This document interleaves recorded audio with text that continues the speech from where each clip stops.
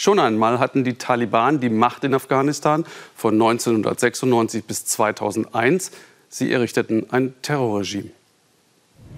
Die Taliban sind wieder zurück in fast allen Städten Afghanistans. Sie kämpfen wieder für ihren radikal-islamischen Staat auf der Basis der Scharia, einem archaischen Rechtssystem, oft mit ungeheurer Brutalität.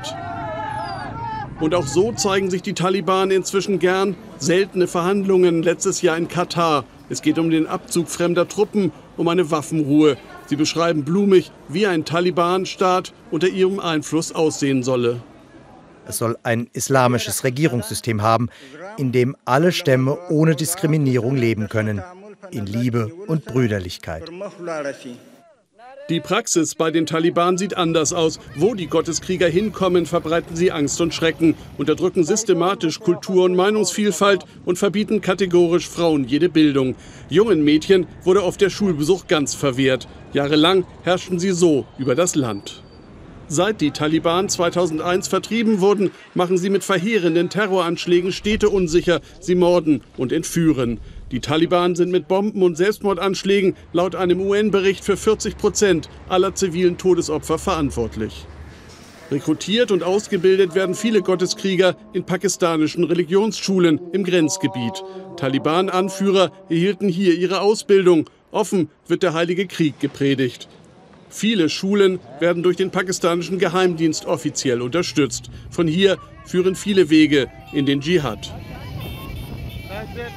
Finanziert wird der Kampf der Taliban durch Schutzgelder, Spenden und durch den Drogenanbau. Große Summen kommen auch aus einigen Golfstaaten. Die Taliban sehen sich schon seit Wochen wieder in einer Position der Stärke. Zuerst müssen wir über den politischen Fahrplan sprechen und eine Lösung finden. Und natürlich wird es erst danach einen umfassenden Waffenstillstand geben. Geschätzt 85.000 Taliban gehören zur Armee, die jetzt wieder nach und nach Afghanistans Städte beherrscht. Die Gotteskrieger kontrollieren Straßen und Dörfer, sie besetzen Ämter und Verwaltungen. Und Soldaten und Zivilisten lassen es häufig geschehen, weniger aus religiösem Eifer als aus Überlebenswillen. Professor Hans-Joachim Giesmann von der Berliner Berghof Stiftung kennt die Taliban sehr gut, begleitet für die Bundesregierung die jahrelangen Gespräche in Katar. Die waren ja als Friedensverhandlungen angelegt zwischen den Taliban, der afghanischen Regierung und den Alliierten. Und auch jetzt erreiche ich Sie in Katar in Doha. Guten Abend. Guten Abend. Professor Giesmann, die Taliban haben die Friedensverhandlungen auf ihre Weise beendet, indem sie einfach militärisch Fakten geschaffen haben. Konnte man das nicht vorausahnen? Die Geschwindigkeit äh, des Niedergangs der Republik ist äh, mit Sicherheit äh, überraschend und äh, wurde auch von allen äh, Diensten, Experten, Analysten völlig falsch eingeschätzt. Aber die Geschichte beginnt eigentlich nicht mit, den, mit der Stärke der Taliban, sondern mit der Schwäche der Republik und dem fehlenden Widerstandswillen der Bevölkerung, sich für diese äh, Regierung einzusetzen und äh, das hat dann den Niedergang äh, enorm beschleunigt. Nun fragen sich ja alle, was, wie unterscheiden sich diese Taliban von denen vor 20 Jahren? Sie haben sie ja bei den Verhandlungen erlebt. Wie haben Sie die Taliban erlebt?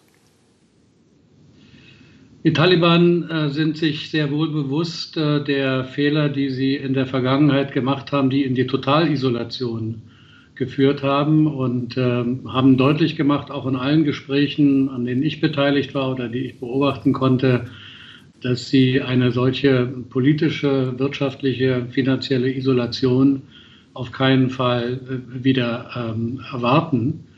Und äh, sie haben Versprechungen gemacht in den letzten Wochen, in den letzten Tagen, auch in den letzten Stunden, äh, dass sie sich an bestimmte Rechtsnormen halten wollen und ähm, verzichten wollen auf die Rückkehr des Emirats in der Fasson der 90er Jahre.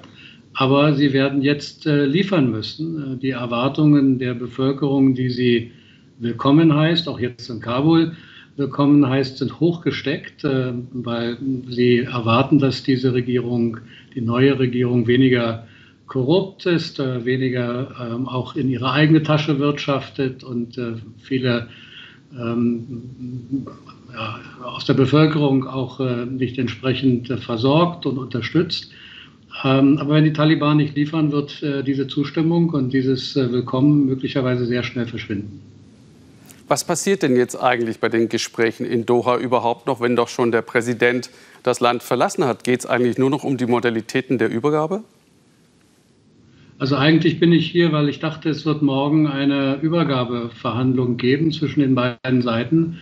Äh, dem hat der Präsident durch seine Flucht nach Tadschikistan einen Riegel vorgeschoben. Äh, das Land hat eine ernsthafte Verfassungskrise jetzt und es geht wohl nur noch darum, Chaos und Anarchie äh, zu verhindern und eine Übergabe der Macht an die Taliban zu ermöglichen, bei der es möglichst nicht zu umfänglichen Blutvergießen und äh, kriminellen Handlungen kommt.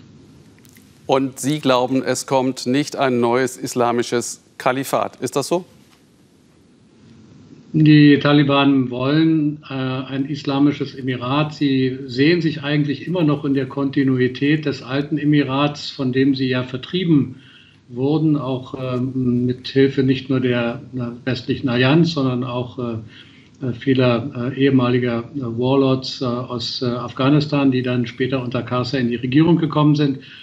Ähm, sie werden sich an ihren Worten messen lassen müssen. Und die Art und Weise, wie sie das Emirat äh, das sie errichten wollen, ausgestalten, wird sich äh, dann, dabei wird sich dann entscheiden, ob es eine internationale Zusammenarbeit mit diesem Emirat geben kann oder ob es in die gleiche Isolation zurückfällt, in dem es sich schon mal befunden hat.